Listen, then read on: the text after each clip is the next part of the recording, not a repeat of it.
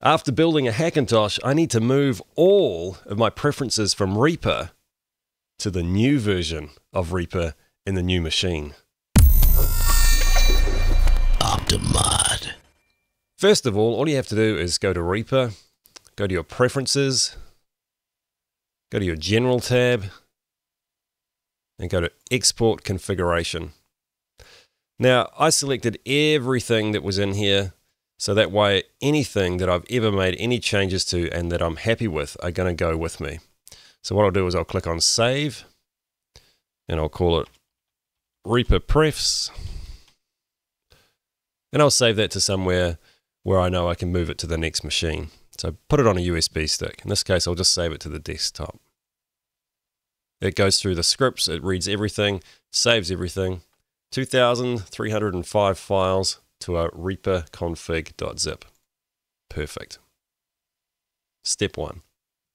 On your new machine, just follow the same process. So go to Reaper, Preferences, Import Configuration. So look to where you saved it. There it is there, Reaper Prefs.